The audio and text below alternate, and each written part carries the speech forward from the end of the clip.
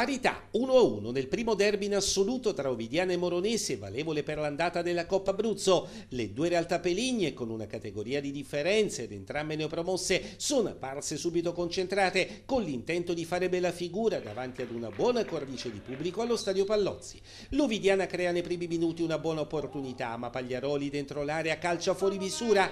Gol mangiato, gol subito perché al ventitresimo la Moronese passa in vantaggio grazie ad una punizione di liberatore con la palla che colpisce prima la traversa e poi la schiena di Imperatore. I sostenitori ospiti applaudono ancora il bomber quando al 33esimo manda di poco al lato. Un minuto dopo si vedono i biancorossi con un'azione manovrata che si conclude con il tiro di Pallozzi di poco fuori.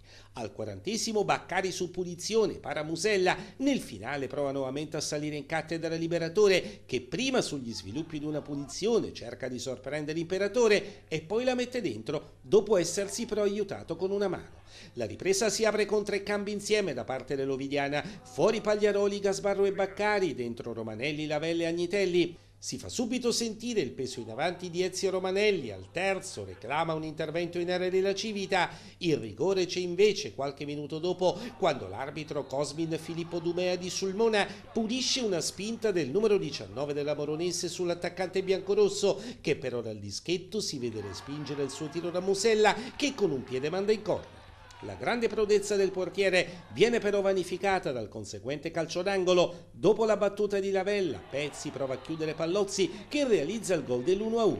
L'Ovidiana galvanizzata dalla rete ci prova con Di Bacco, servito da un assist di Alosi, ma para Musella e negli istanti successivi con un diagonale di Romanelli.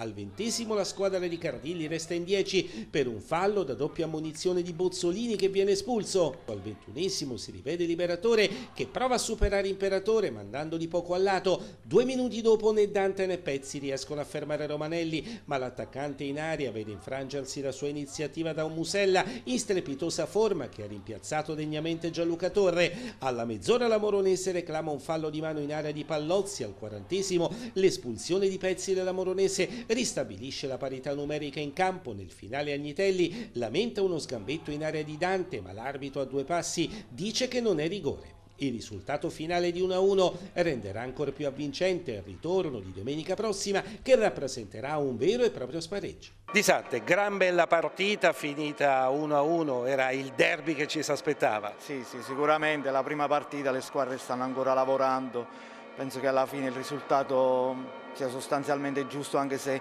il primo tempo è stato più equilibrato, il secondo tempo l'Ovidiana ha fatto sicuramente qualcosa in più, però poi alla fine il risultato è uscito 1-1, accettiamo quello che, che, che, è stato il verdetto del campo e vediamo domenica prossima. Cardilli, gran bella partita con un'Ovidiana sicuramente migliore nel secondo tempo. Sì, migliore nel secondo tempo perché stati, abbiamo tenuto bene la partita, comunque sia si sentono ancora i carichi della, della preparazione che stiamo ancora facendo.